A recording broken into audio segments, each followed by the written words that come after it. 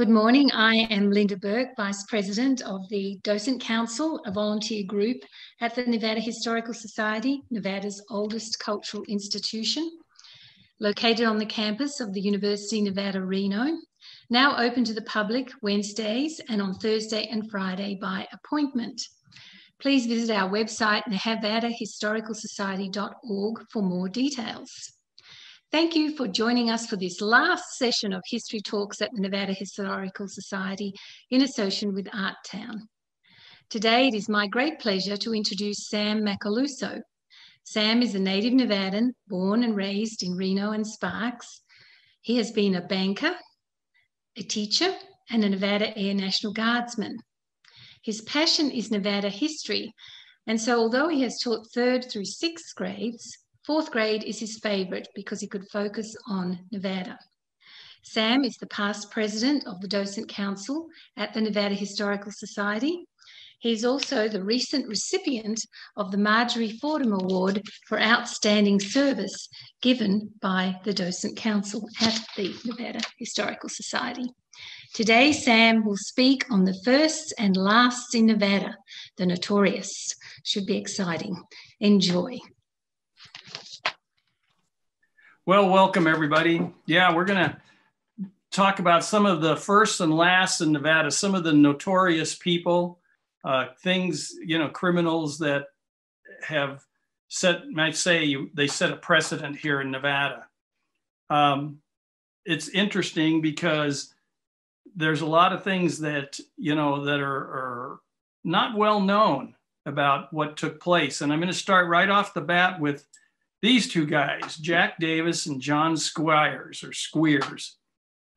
And it's actually Squires, it's misspelled in the slide there. But anyway, these two men are the are the two ringleaders that pulled off the Verdi train robbery. And the Verdi train robbery was actually the first transcontinental train robbery in US history. Now, it's not the first train robbery because back in 1868, the Reno brothers and they're no relation to Marcus Reno or Janet Reno or any, you know, with, with dealing with Custer or um, later on.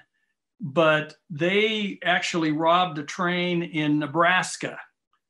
And it was a spur train, though it wasn't the part of the Transcontinental Railroad.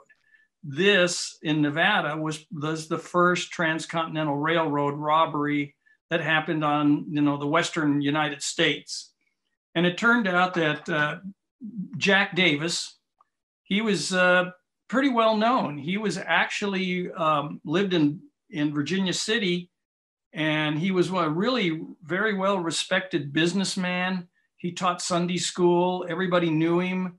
Um, he was just this really quote nice guy. He was a superintendent of a of a mine there in Virginia City. But the other thing they didn't know about was he was the ringleader of the gang and what they did was they would rob these ore um, wagons uh, from other mines, and then he would take it into his mine, which basically had, uh, you know, no, there was basically no gold or silver in it. And what he'd do is he'd take these uh, wagons that he robbed and crush the ore and make his own bars, and then he would, you know, he would sell it. You know, his he would sell them. And he, that's how he was making his money.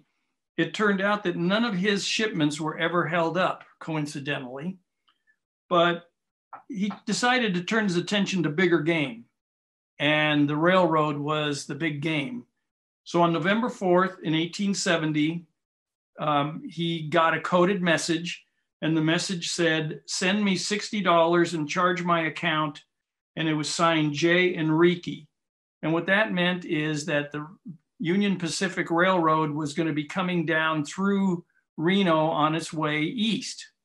And so Jack Davis and Squires and several other members of his gang uh, set up a, a, um, rob, a, robbery scheme. And what they did is they, um, in Verdi, as the train was coming in, and it was supposed to be there at about 10 o'clock at night, but there was a delay on the tracks. The, tra- the train didn't show up until um, about midnight. So midnight on November 4th, uh, the train shows up. It slows down in Verdi and never stopped. And some men got on the train. Several got into the to the passenger cars, and two men jumped in the uh, engineer's car, and they held the engineer and the fireman uh, both with pistols, put pistols at their head, told them to slow the train down and give a, a prearranged signal that they had taken over the train.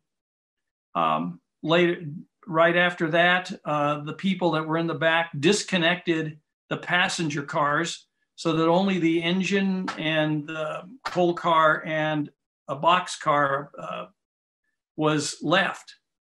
They took it on a spur down to where um, it's basically in Mayberry in the industrial park. That's where the actual robbery took place, was in the industrial area, just outside of that Lawton Hot Springs that you see if you go down the old Highway uh, 80 or Highway 40 that was just sold. It was a big deal about it in the paper that they just sold it. But that was right in that area is where the train actually was robbed. And what they did was they took the two, the engineer and the coal, uh, the, the stoker, the fireman, and they took them to the box car, knocked on the door, and the guard said, What do you want? And they said, Open the door right now. And so when he opened the door, he was looking at three shotguns. And so they went in, told them to sit down in a corner, and they did. And they proceeded to rob the train of $41,000 in gold double eagles. And the funny thing is, not only was there gold uh, double eagles, which are $20 gold pieces, but they left all the silver bars in the currency because they said, well, silver, the silver bars were too heavy to carry. And the currency, they said, well, nobody wants currency. So they just left the currency.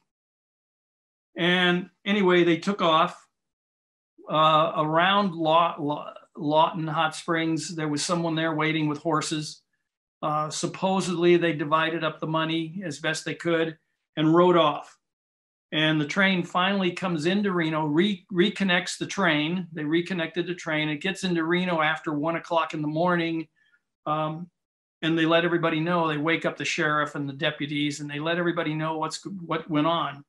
So the governor, Wells Fargo, and the post office all put up rewards, and the reward was about thirty-five thousand dollars and we're talking $35,000 in 1870 money. So you, what you do is you take that and multiply it times about 25, and that'll give you today's value. So that was quite a hefty reward for the capture of these men. Well, the deputy sheriff of, of Reno, his name was Jim Kinkead, he formed a posse and they tracked him down. Uh, a couple of the people, they tracked him down in uh, California, right around Quincy. And, you know, if you ever watch these TV shows, you know, they capture a criminal and they say, okay, who's the ringleader? Who's the rest of your gang? And the guy goes, I'm not talking. You can't make me talk and all this. Well, that didn't happen. As soon as they rounded up some of the, you know, a couple of the people, they couldn't stop talking. And they told them who the, the ringleaders were Jack Davis and John Squires, that were the ringleaders. And I mean, they told them everything. They even told them where to find them. So sure enough, Squire uh, Davis gets um, arrested in Virginia City. He's just walking the streets of Virginia City, and the thing is, is they they recovered all but three thousand dollars of the money and they figure that that $3000 got was buried somewhere. Now some people say it's buried along the tracks around where uh, boomtown is. And you know between there and lawton hot springs uh, some say that um, davis took it up to um, uh, virginia city melted it down and made it into bars uh, some say that he he buried it in Virginia City. So we don't know whatever happened to those three thousand dollars and twenty dollar gold pieces. They were never found. Anyway, these criminals got varied sentences, anywhere from 14 to 21 years, based on their participation in the robbery. Uh, Davis himself got 10 years, but he was paroled after four, and he was paroled because of good behavior. So what does he do? He goes east in eastern Nevada and around in Eureka County and starts robbing stagecoaches. But that's where he met his demise because uh, the way they would signal was one fire, there were no shotgun riders. If there were two fires, that meant a shotgun rider came with the stage. Well, the uh, accomplice built two fires. The problem was he had them so close together that Davis thought it was only one fire. So he went to hold up a stage and proceeded to be killed by the shotgun guard who filled him full of lead with his double barrel shotgun. And so that ended Jack Davis and, and that. But it's the first time a train was robbed um, in Nevada or transcontinental train. The interesting thing too is as it was headed east, it was robbed again. It was robbed right near the Utah Nevada border. The problem was they didn't get any money because the, this money that, that uh, was stolen was supposed to go to um, the uh, miners up in Virginia City. It was their pay. And so the train was basically had no money on it when it was robbed a second time um, later on, you know, within a few days after this robbery took place. So it has that dubious distinction. Okay. Now we have this gentleman. This gentleman, his name is Gee Jon. And Gee Jon has the, the dubious distinction of being the first person to be killed in the gas chamber. Uh, the thing is, is he was a uh, gang member in uh, Chinatown in San Francisco. And he was also um, kind of like one of their top assassins. And he was told to kill a person in Nevada. He was given a contract to kill this man in Nevada. So he comes to Mina, Nevada, of all places. If you've ever been through Mina, there's not much left of Mina. Uh, he met his quarry, which was a 74 year old man who was named Tom Kee. Anyway, he uh, watched him for a while. And then what he did is he just walked up, knocked on the door of his house. And when this Tom Kee opened the door, he was shot several times and killed by this guy here, who was Gee Jon.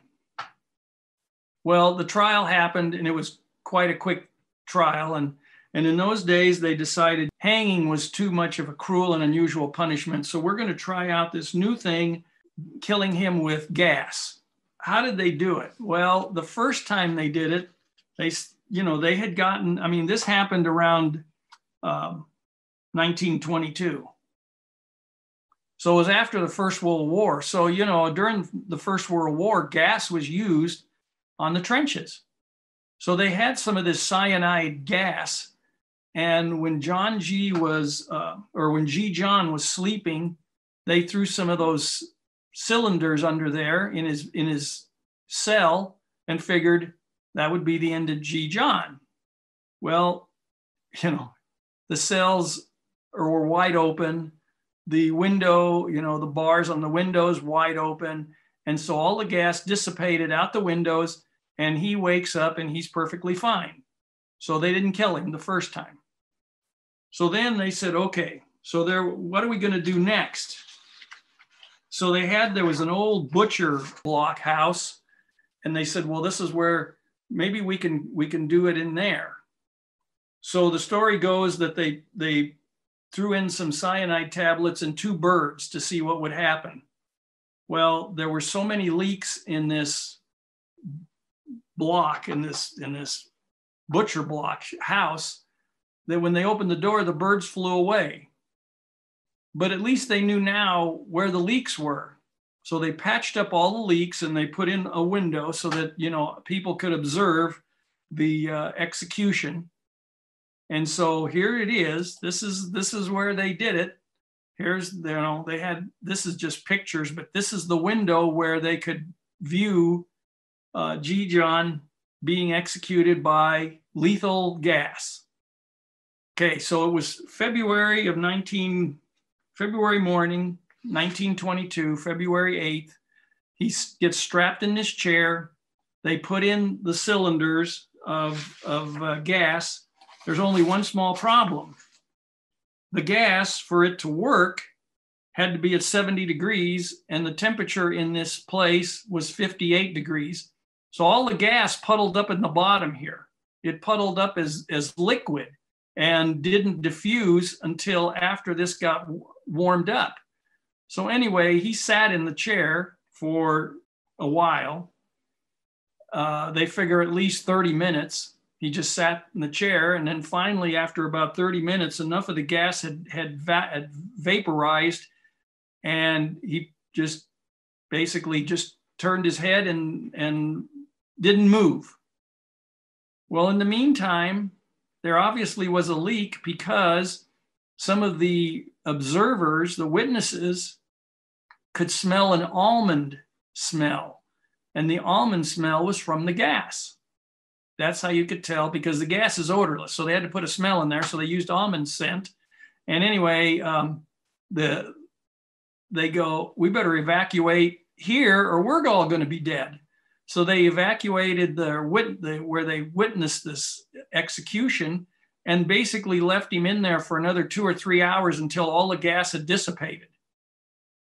So when they opened it up finally, after they, they blew out the gas that was left, and then finally, after about three hours, they took him out. Yes, he was dead.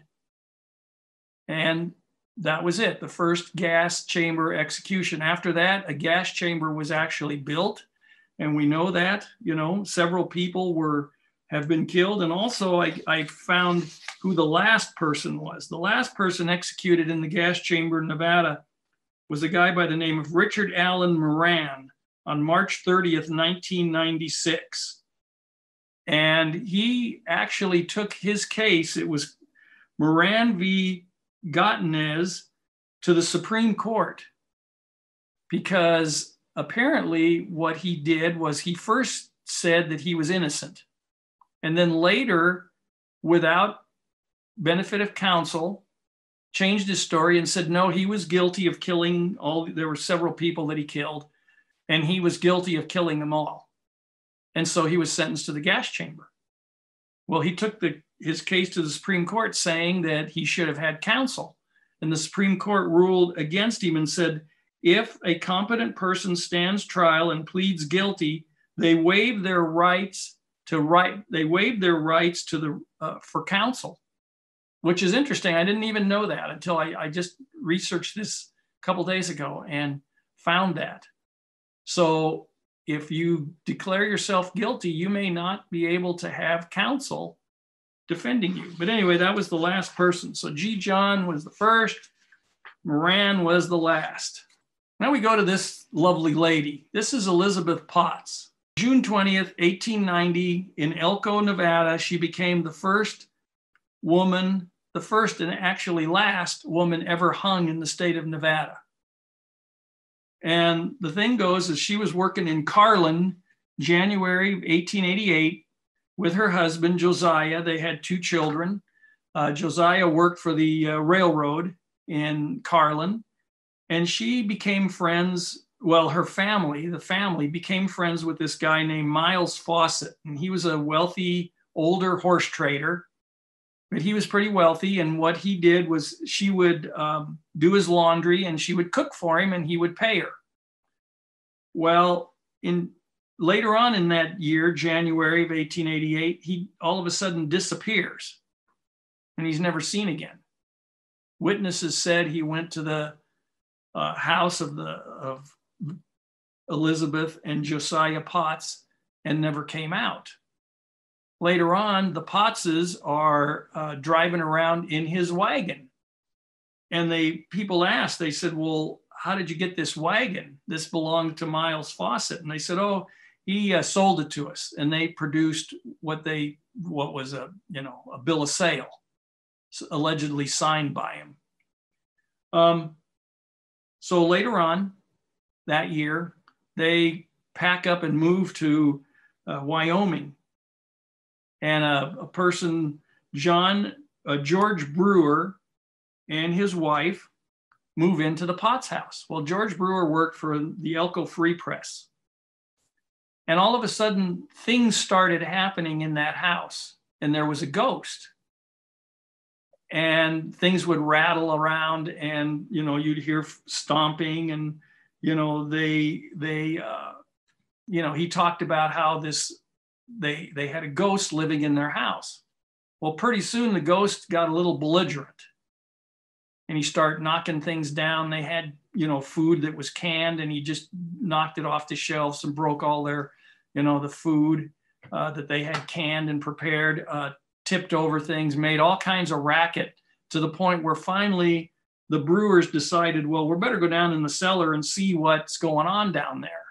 So when they go down there, you know, amidst all the trash, they find this burned body, and in the pocket is a is a um, a folding knife that has the initials of um, MF, Miles Fawcett.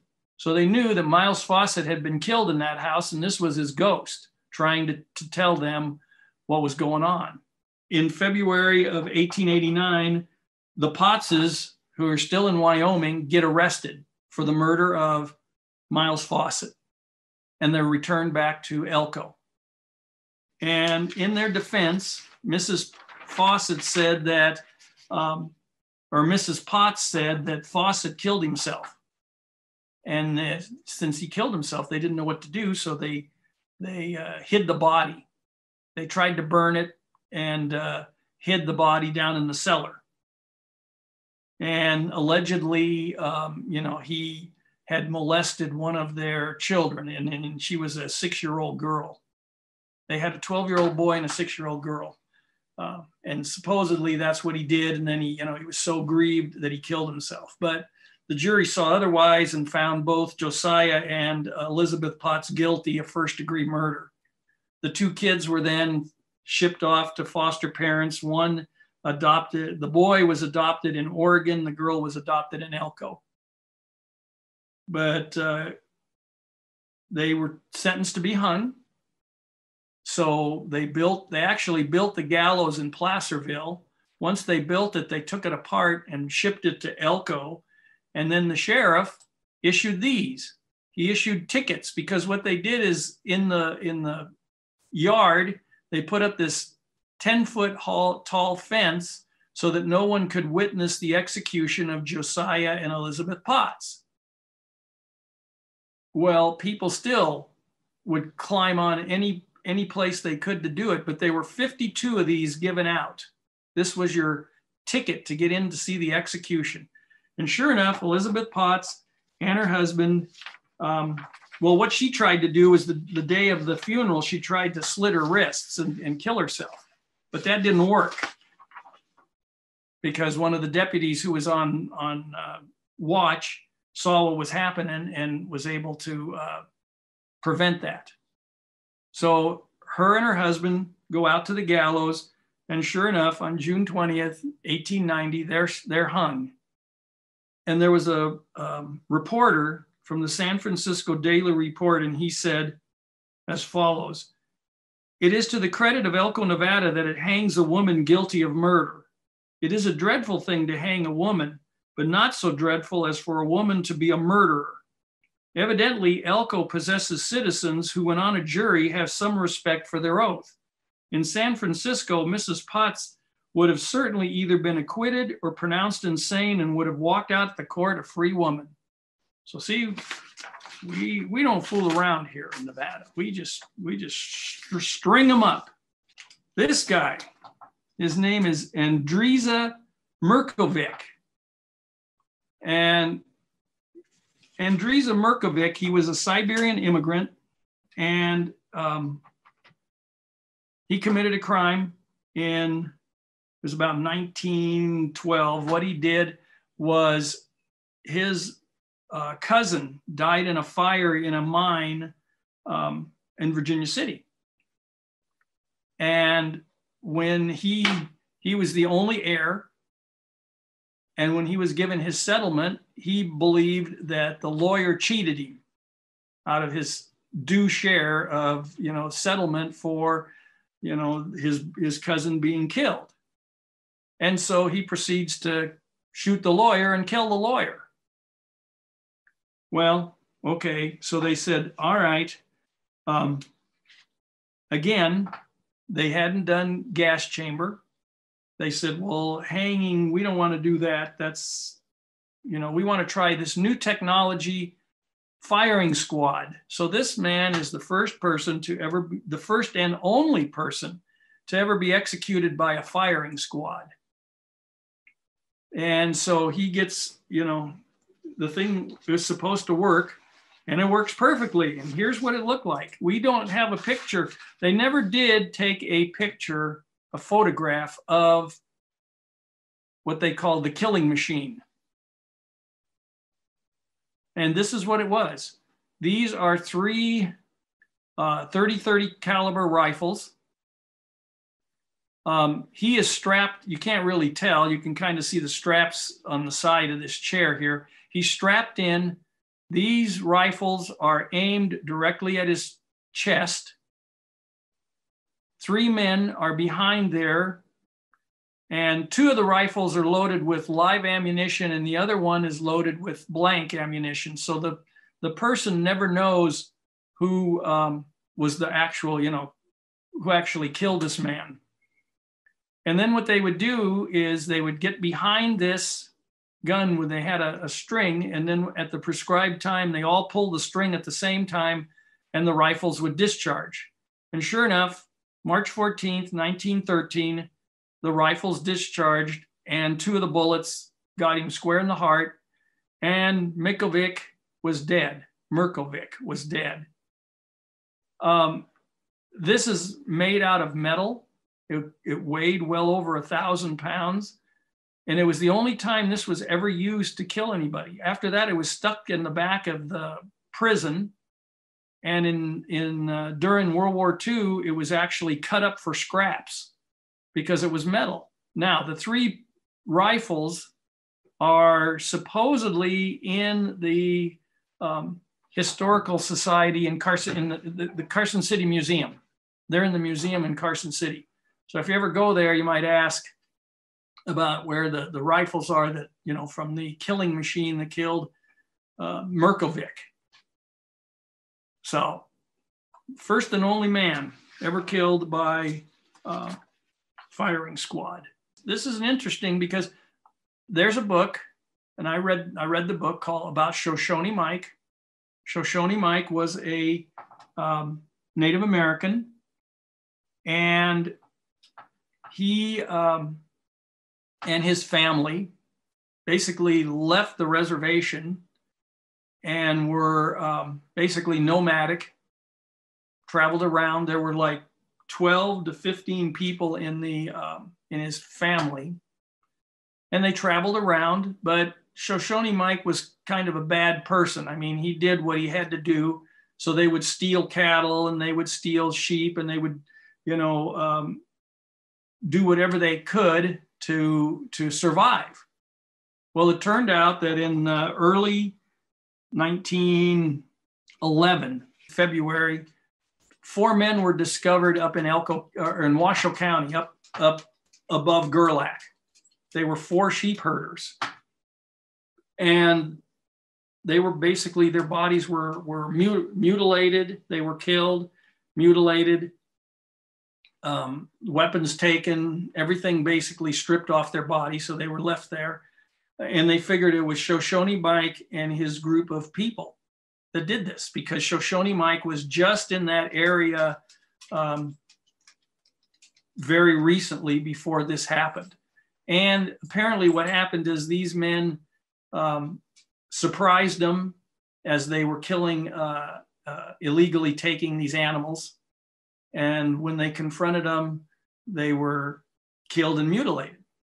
So the posse takes off after them. A posse is, is arranged. There's about 20 men in this posse, um, and they take off after them. And this is just outside of Golconda. It's right on the on the border of Humboldt and Elko counties. And they caught up with them in March of 1911 in um, basically they were in a gully. Uh, allegedly, the marshal who was with them asked them to surrender, and they would not surrender. Instead, they put up a fight. Uh, they were outgunned. Obviously, they they had between them they had um, it was estimated that they had uh, three or four hand three or four guns of various types, a couple of handguns, a, a rifle, and a shotgun. Um, a few bow and arrows, but for the most part, they were pretty much unarmed. Plus, the women and children didn't have any any weapons at all. It was just the men. Um, the gunfight lasts about three hours, and when it's finished, um, the only people that are left alive are one young girl and three babies, three really young children, young young children, and that's and and they're taken to um, Elko, and through an interpreter, yes, they confessed to the fact. The girl confessed that they in fact had murdered those four people and um, you know had made off because because the, the children were basically dressed in their clothes in these people's clothes that were, had been cut down and whatever and so you know only one um, man was killed his name was ed Hogle he was a deputy. He was killed. He was killed by the last shot uh, that that uh, that they had in their in their weapons. And it was a revolver. And what happened is a young um, a young boy hid under his mother's uh, coattails or skirt, and when the uh, deputy came up to grab the mother, he jumped out from un- underneath her skirt and shot him and killed him. And both of them ended up being killed under a hail of bullets. It was said. So this is considered the last uh, Indian massacre that happened in the United States. This is after Wounded Knee. It was in 1911. And so this is the last uh, Indian massacre that's taken place in the state of Nevada. This is Nevada Redwood, who's hanging here on this telephone pole. And at the turn of the century, and it happened around 1905, 1905 is when it took place, um, in the town of Hazen, Hazen was a, a railroad stop, plus it was also um, one of the construction activities for the Newlands project that was being put in. And that the Newlands project is where they diverted some of the Truckee River um, in canals and deposited it in uh, Lake Lahontan. And so this was one of the stations where this was one of the locations where they had the headquarters of uh, a construction site, plus there was a railroad spur there. The problem with Hazen was they really didn't have any law and order there. The constable was in Fallon, and Fallon is about 15 miles, 20 miles away from Hazen.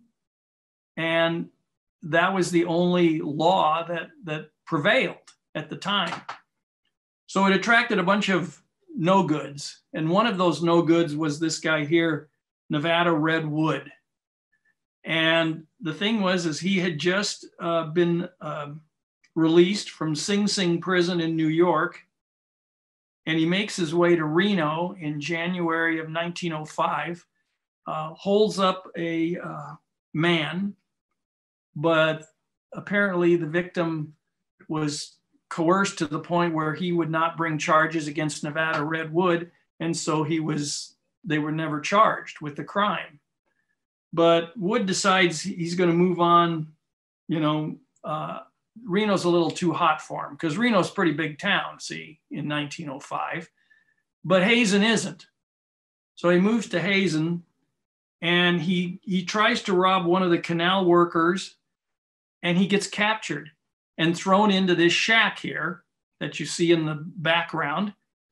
And they lock the door and they call Judd Allen from Elko or from, excuse me, from Fallon and say, hey, get over here because we locked up this guy. He was trying to rob one of our workers.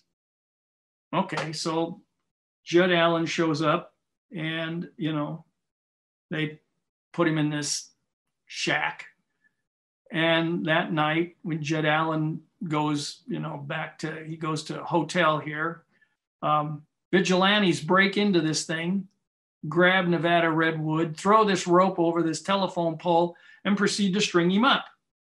The next morning, they look out there, and it's March 1st, 1905. Judd Allen looks out there and he thinks this is a dummy and really doesn't realize that this is his prisoner that got strung up the night before or early that morning by a vigilante group. So anyway, they finally figure out this guy's a legitimate corpse and they cut him down. And when the justice of the peace uh, did the autopsy and the inquest, it said, here's what he said. He said, Wood came to his end by being hung to a telephone pole with a rope of with a rope around his neck. Pretty obvious.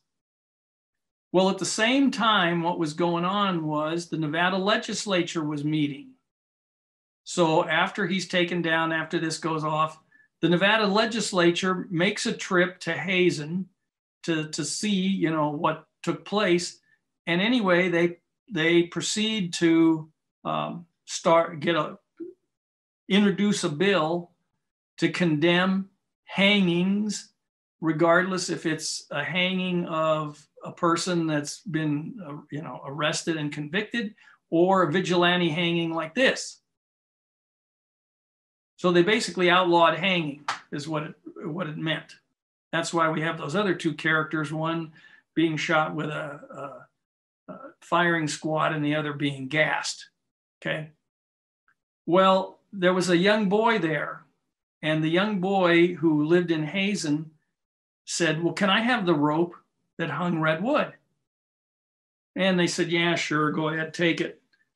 And so, anyway, um, this kid gets a rope. He cut off about a one foot piece, nailed it to a board, put a little sign. This is the rope that hung red wood. And he sold it for 50 cents. Well, they people bought bought it like crazy. Okay. So pretty soon he's out of rope. So what does he do? Well, he goes to the local mercantile and buys all the rope they have there, cuts off a one foot piece, nails it to a board, says this is the rope that hung red woods. And apparently, the story goes that there was enough rope to hang everyone in the state of Nevada by the time this kid got finished. But he made a sizable amount of money. And there are people that still have these, you know, some of the old, old folks, and, and you know, it's been passed down in Fallon that have this little plaque that says this is the rope that hung redwoods. And there's no way to tell if it's legitimate or not but the kid made off good. So, anyway, that was it. The last vigilante hanging that took place in Nevada.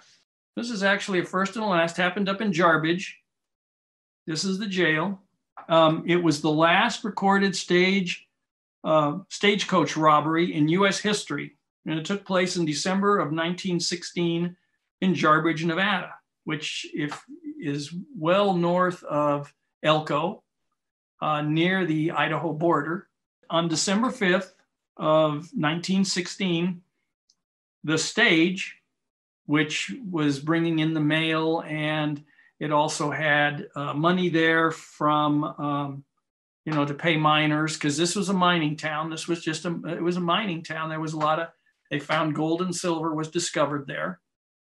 Anyway, the, the stage was three hours late. It was a bad night. They said it was, you know, blizzard-like conditions, so the weather was not that uh, could, you know, very good. Um, snow and everything else.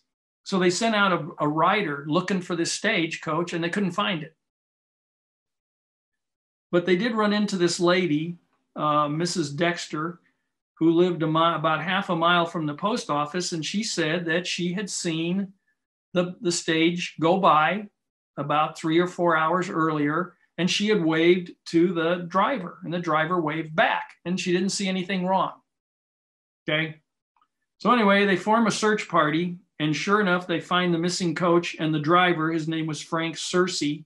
They found first class um, mail. They found the mail pouch but the money was missing it was like $4000 in coin and it was missing the next day the weather, I guess, is better. So they they go back to where they found the pouch, and they find um, footprints.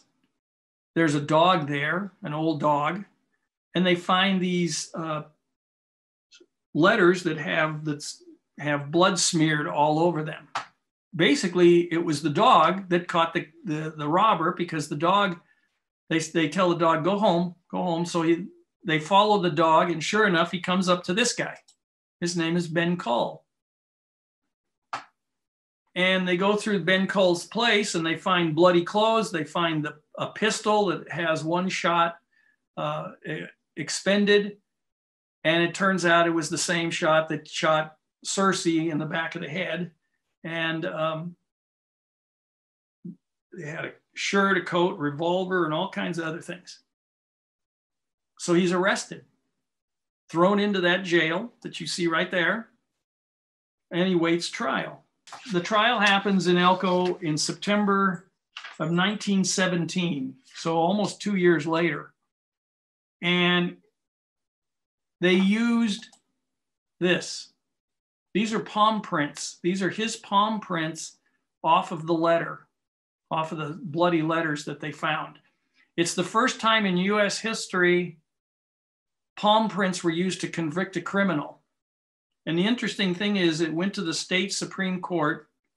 It was state versus Kuhl, and the state Supreme Court upheld this as legitimate evidence to convict a criminal.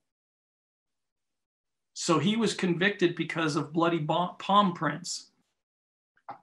So he was sentenced to death, but um, he has an appeal on, on January 10th of 1918. And in this appeal, he um,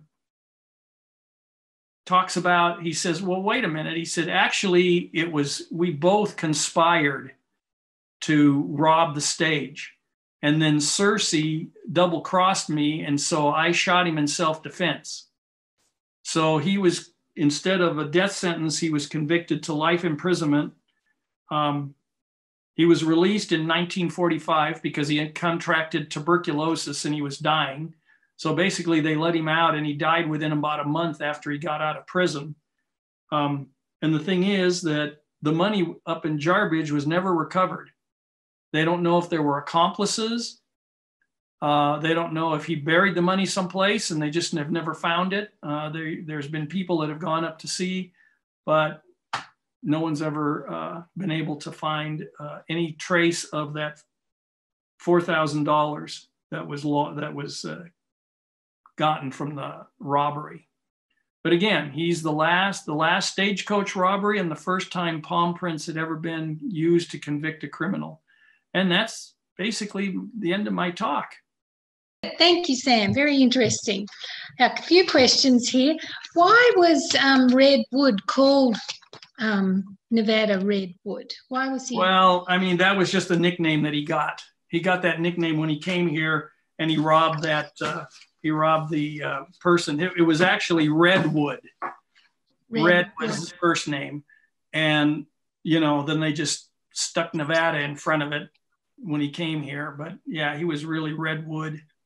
And uh, so he was Redwood in New York. Yeah, he was Redwood okay. when he was in Sing Sing prison. Yeah. Okay. Okay, good. All right. And then um, Kristen asks, have you ever gone looking for the lost loot from the Verdi train robbery? No, now they have, people have gone and looked for it. Now you have to understand too, okay, we're talking 1870. The Transcontinental Railroad was finished the year before, okay? And actually it was about 18 months before. They realigned the tracks so this is why no one's been able to find it because they they realigned the tracks and they're not sure hmm. if that's where it is. And again, there's been stories that um, they it's buried somewhere around where that hot springs uh, place is that was just sold. There's stories that that Davis took it to Verdi or to Virginia City and melted them down, melted the coins down and put them into gold bars so, you know, uh, to, to get rid of the evidence.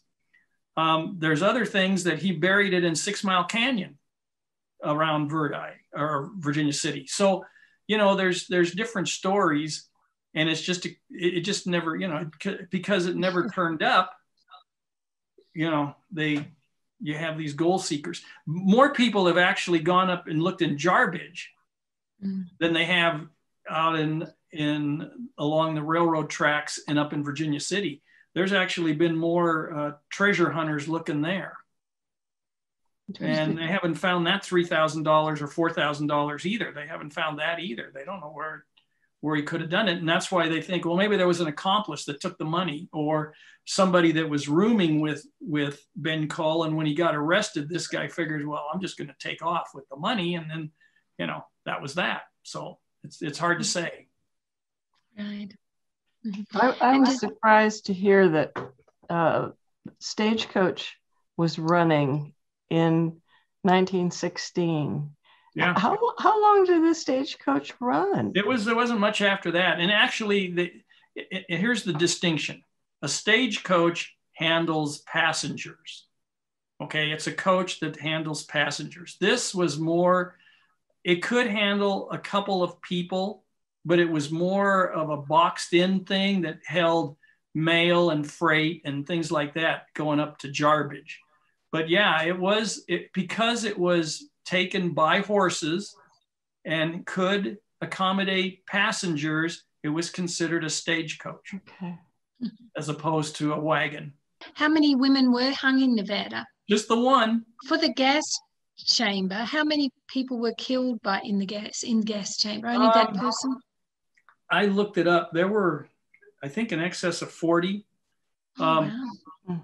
people now they do lethal injection. And as, as you notice, I mean, it's been in the paper. And it was funny because in the paper, the, the person that's on death row now that is supposed to, you know, and they've, they've postponed it several times because they can't get the, the, the quote cocktail that, you know, they won't sell it to them in, in Las Vegas, in Los Angeles um, or in California. They won't sell them the, the, ingredients to make this lethal cocktail to kill the guy. Mm-hmm. He, he said, "Well, I want to be, I want to be uh, shot with a firing squad," and they said, "You can't because that's been outlawed. We only did it mm-hmm. once, and it's been outlawed. So he he can't be f- killed with a firing squad." You know, the same thing happened with Gee Jon. They couldn't find cyanide and so it turned out that the governor of Nevada drove to California and picked up 400 pounds of cyanide to bring back with him so they could try this out. And it took three times because the first time they just threw it in the cell. Well, that didn't work. The second time they threw it in with a couple birds, but there was so many uh, yeah. leaks in the thing that the birds just flew out when they opened the door. And then finally, the third time, they did it, and then they just left. They left him there for about three or four hours. I know that there have been Supreme Court cases where somebody's been put in an electric chair and they throw the handle and it doesn't work. Now, does that mean the person's been executed?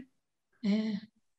And it's actually gone to the Supreme Court, and the Supreme Court, you know, says, well, you know, it, it depends on the circumstances. Let's say there was a power failure or something, you know, and mm-hmm. that's one thing but if they throw the handle and then nothing happens has the person been executed can you ex- can you do it a second time or does that constitute double jeopardy okay sam well i think we'll leave it at there no more questions okay. thank you very much for oh, a very welcome. interesting fascinating yeah. subject very nice and thank you to carol too for all the yes. behind the work scenes during these sessions Goodbye, everybody. Thank you and for all attending. the other, yeah, and everybody that attended is good. That's good. Yes, I, yes, very nice. So, pretty nice. Thank okay. you. Thank, thank you. Thank you very much. Goodbye. All right. Bye now.